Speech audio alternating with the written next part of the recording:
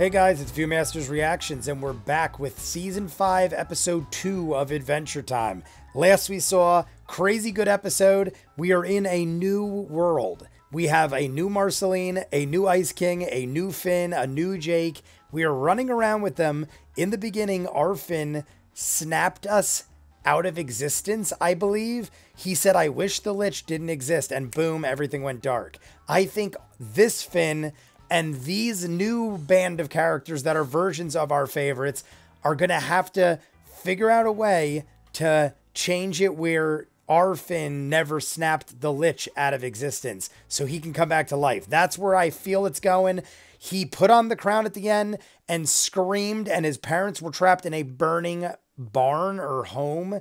We're going to find out. You guys want to be way ahead, full unedited reactions of this and other shows I do? Patreon link at the end. If not, we're jumping in. This is season five, episode two, Adventure Time. Jake the dog. The last one was Finn the human.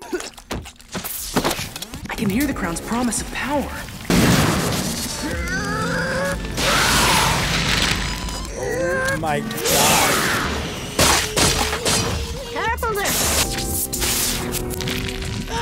One more hit. After a thousand years. Ah, dingo. I'll save you!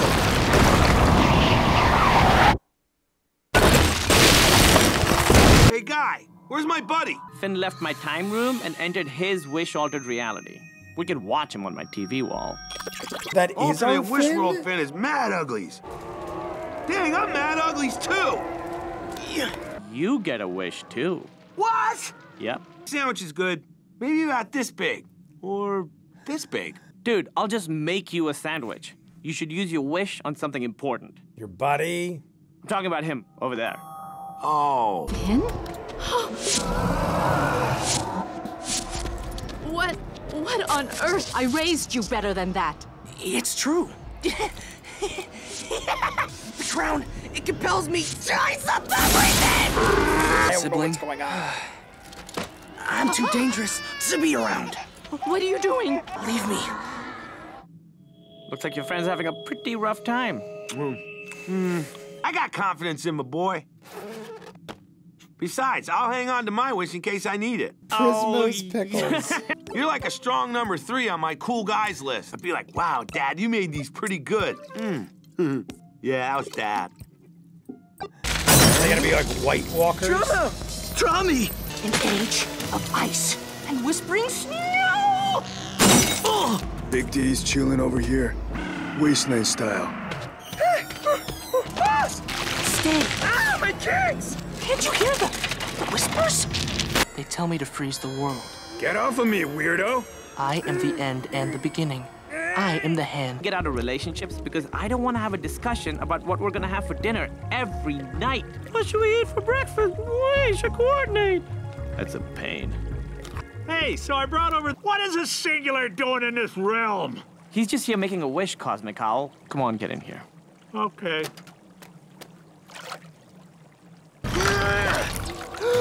I warned you, you butt. He just kicked off Marceline's head. I'll share the secrets of ice and snow with thee. The power of frost! One, They're all go. just hanging out. We're three nice dudes having fun. We The Cosmic Owl. Back off my crown, Jake! I warn you! The Lich. Finn, save Finn. Wait, it's like a monkey's paw kind of thing. Wish for a back rub. Who's gonna give it to you? A dirty man? A bear? A bear. Um, where did Dad go? I don't know, son. He just disappeared from the table. Sorry. Worlds could be evaporated by your wish. Focus, Jake. Here, eat this egg. It's brain food. Che- hey, hey, ish. Change the Lich's wish And go home. and go home. I can work with that. All right, this has been nice. How nice Prismo is. all loyal for Finn and Jake to go back home to Ooh. Huh? Did you see that? Monkey spot. Boom.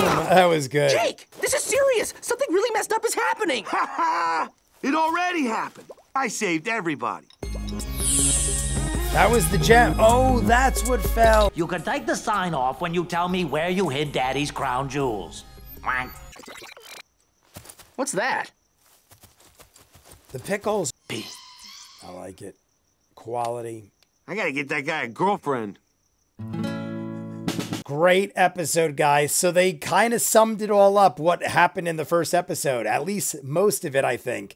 We meet Prismo. He makes damn good pickles. It's Kumail Nanjiani's voice. Right away, I noticed it was somebody, and then it's not very hard. He's got a very distinctive voice. Love the dude. Funny as hell. I don't think I've ever seen him in something bad. He's in a bunch of movies, stand up comedy, TV shows.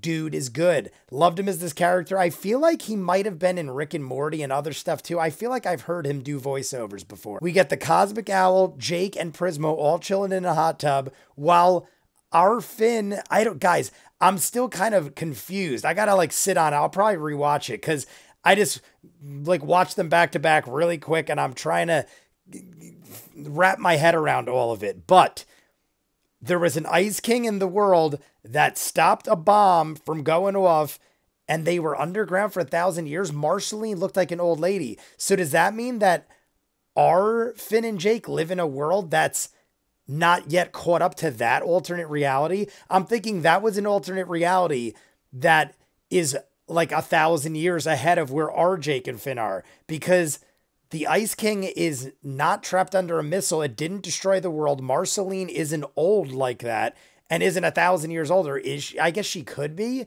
but then why would Marceline look young and like not like an old wrinkled lady?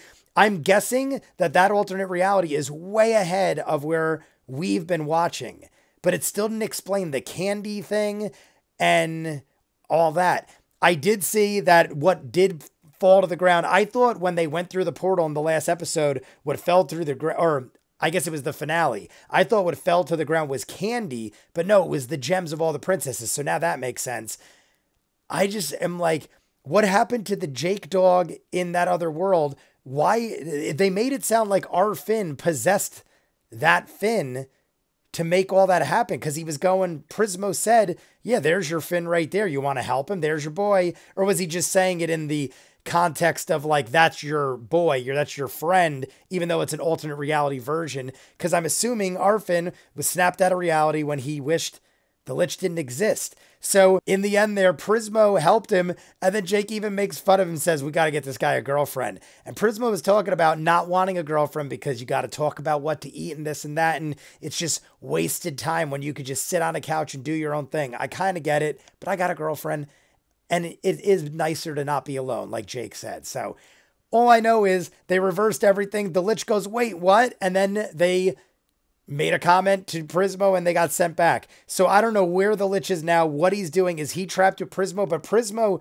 wrote Jake a note, so it's not like the Lich roughed him up or made him do something he didn't want to do because he had the time to write a note to Jake. So who knows what's going to happen now, but we have reversed everything and we're back to where we started. But we did get a bit of a story about the Ice King and Marceline in that world. Is that what kind of happened here?